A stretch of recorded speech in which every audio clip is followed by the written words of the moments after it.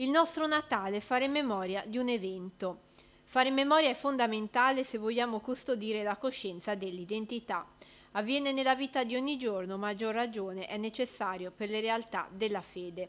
Trovate in apertura della pagina spezzina di Avvenire il messaggio del Vescovo diocesano per l'avvento che inizia domani. E restando in tema l'avvento di carità e l'impegno della Caritas, con l'inizio appunto del nuovo anno liturgico prende il via anche quest'anno l'iniziativa dell'avvento di carità.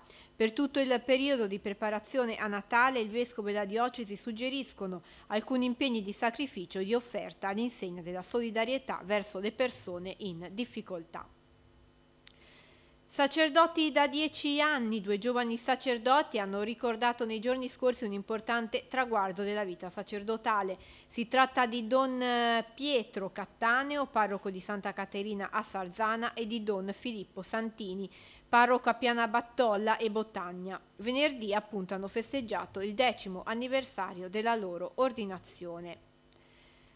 A centropagina, verso una società post-umana, se ne è parlato nel corso di un incontro a Lerici. L'occasione è stata la presentazione del libro di Giulia Bovassi, L'eco della solidità.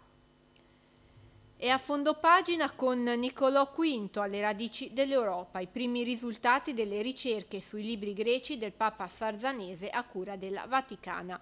E a fianco i racconti di Paolo Bassani. Queste le principali notizie che potrete leggere domani sull'inserto spezzino del quotidiano cattolico Avvenire.